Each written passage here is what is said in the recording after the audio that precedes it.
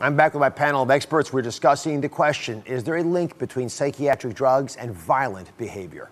Dr. Joseph, I think a lot of folks are appreciating that there's a black box warning on some of these uh, antidepressant medications, warning about suicide in juveniles, in, in young people. Mm-hmm. So, how do they figure that out? And, and uh, why would that not also mean there's a concern they might create violence against others, if they might do violence on their own? That's a great question, Dr. Oz. What I tend to see is under treatment of depression, people not getting the right dose.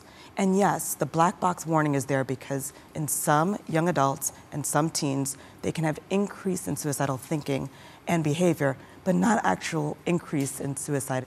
It is so important to adequately diagnose the right condition. Because if you misdiagnose a condition and you treat with the wrong medications, you can have a terrible outcome.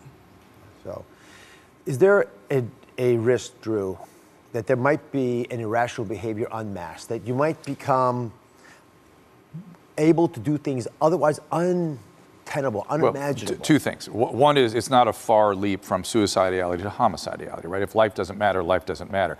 But we don't see that in this group that we're talking about here. We see the suicidality, we don't see the homicidality. Doesn't mean it couldn't occur. And what we're discussing here is the inappropriate prescribing. If you take somebody with bipolar depression and you treat them with antidepressant, they can become manic and then they become violent. That's not the antidepressant, that's the doctor.